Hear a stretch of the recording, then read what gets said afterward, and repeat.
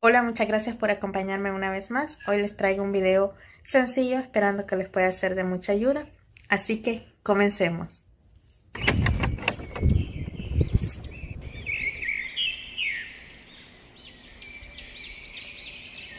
La Morning Glory es tan única en el aspecto de que esta plantita, si ustedes observan sus hojas ya se están poniendo bastante fellitas, lo cual estas hojas ya pronto van a morir. De repente la planta pareciera que se está muriendo porque puede hacer esto. Sobre todo cuando el clima está muy caliente. Observen, solo son esos tallitos tan diminutos, tan delgaditos, sin hoja. Pero eso no quiere decir que la planta se está muriendo o que la planta no va a ser capaz de florecer. De esto tan feo que ustedes pueden observar, tenemos esa floración tan espectacular. Y lo importante de ella es que de esos tallos viejitos, ella vuelve, miren, por eso es que siempre tiene una floración constante. De esos mismos tallos vuelven a salir nuevos tallos, como ven esto que ven por aquí tan hermoso. Muchas veces desde la raíz también vuelven a salir. Pero si observan este tallo que se veía tan feo, dio un nuevo brote, lo cual va creciendo y de aquí obtenemos otra ramificación y otra floración. Es por eso que se mantiene constantemente en floración. Lo mismo, ellas tiran sus semillitas observe y esas semillitas crecen bastante rápido, germinan bastante rápido, por lo que al ratito ya tenemos otra igual que esta, que se vuelve a enredar y vuelve a crecer y a florecer. En primavera, verano y otoño en floración. En cuanto a la Morning Glory, no es exigente tampoco en sustrato. Lo único que al tener esos tallos delgados no les conviene colocarla en un sustrato que se compacte demasiado, un sustrato muy compacto, porque pueden ahogarse, pueden ahogarse estos tallos, entonces eso va a hacer que la plantita pues no logre avanzar. Es mejor un sustrato que retenga un poquito de humedad, pero que drene muy bien. Porque eso sí, esta planta pide bastante agua en los días muy calurosos, ya que pues son tallitos bastante delgaditos y se mantiene mucho en floración, por lo que si tienen un sustrato demasiado suelto y poroso van a tener que regar mucho más. Así que tiene que ser un sustrato medio que retenga un poquito de humedad y bueno, que también drene muy bien. Lo que sí es que tienen raíces bastante profundas, pareciera que no. Por eso yo la coloqué en esta maceta bastante eh, alta.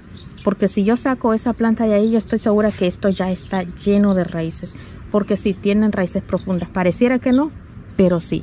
Así que si la van a tener en maceta es mejor que la coloquen en una que sea bastante alta, de un tamaño considerado, porque si no le va a durar menos o rápido va a estar como muy marchita ya que no va a estar eh, reteniendo un poquito de humedad. Así que eso se los hago saber por ahí. En cuanto a fertilizantes, tampoco es exigente en fertilizante. Yo no le doy fertilizante durante todo el año y ella se mantiene siempre, pero siempre en floración. Así que con un sustrato que tenga un poquito de humedad, drene muy bien, sin necesidad de fertilizante y un buen sol, se va a mantener muy activa durante todo el año. Ya cuando llegan las heladas, pues esto muere, esto desaparece, pero ellas dejan la semilla, lo cual podemos recolectarla y plantarla nuevamente. Ahora les quiero hablar sobre esta preciosura que tenemos por aquí. Esta es una belleza de planta. El nombre se lo voy a estar dejando en la pantalla. Es que esta planta cuando florece y cuando va a regalarnos semillas, su flor, es decir, la semilla que nos va a dar pareciese una mariposa. Se va a ir madurando y madurando hasta que se convierte en un color café parecido un poco a los tallos que tiene y es entonces cuando podemos nosotros eh, agarrar esa semillita y si queremos pues podemos hacer el proceso de, germinarla. Yo no la he germinado porque no lo he intentado pero bueno vamos a curosear ahí a ver qué nos pasa. Aquí recibe sol pleno y en el verano la ha pasado muy bien a pesar de ser un sol bastante fuerte que quema pero la ha pasado muy bien durante el verano, así que es bastante resistente. No es exigente en cuanto a fertilizantes tampoco, es una plantita que yo no la he fertilizado más que el humus de lombriz cuando la planté y como observan se mantiene en floración constante. Ya ahorita ya está tirando algunas flores que tenía, pero pues eh, no quiere decir que ya no va a florecer. Viene floración tras floración, primavera, verano y otoño.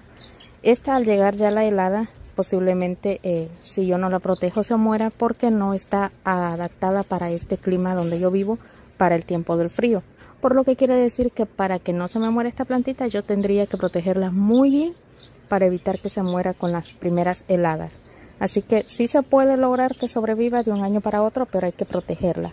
Esta está plantada directamente en suelo, también se puede plantar en maceta, pero cuando está en maceta su crecimiento se limita, así es que ella para que crezca mucho más se va a lograr plantándola directamente al suelo.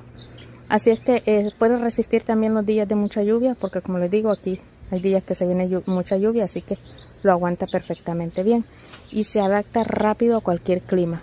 Y la verdad que es de un crecimiento bastante, pero bastante rápido.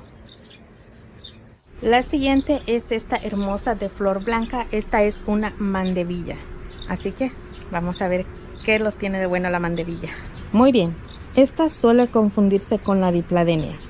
Yo creía que, bueno, estuve confundida también un tiempo porque en muchos lugares se conoce que esta es la misma que aquella. Muy, pero muy hermoso, mire. Esta es una planta también que crece bastante, bastante, bastante rápido. Miren nada más a dónde la llevamos ya. Y esta le encanta estar en un lugar donde pueda enredarse y ponerse muy hermosa. Porque esta eh, no le gusta mucho el sol muy fuerte. Ahorita les muestro por qué.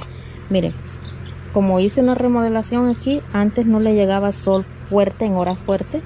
Eh, nada más el sol así como de la mañana. Y resulta que se le, aquí se le nota que pues sí resintió un poco ese sol fuerte.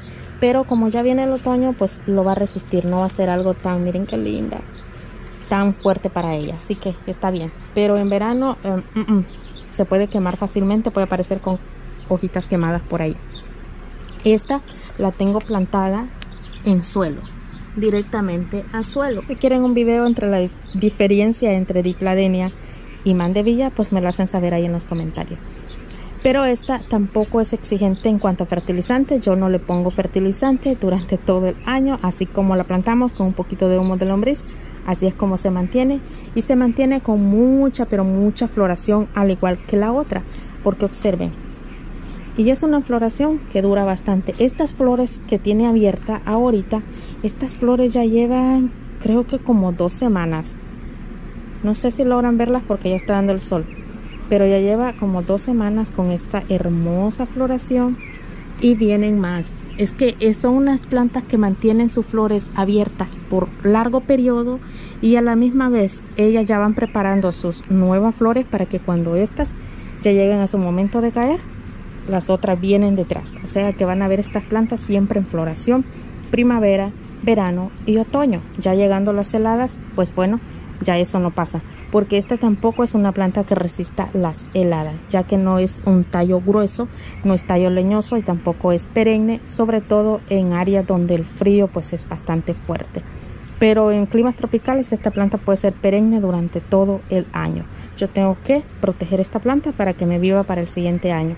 Esta planta no es exigente en cuanto al tipo de suelo, puede adaptarse a cualquier tipo de suelo.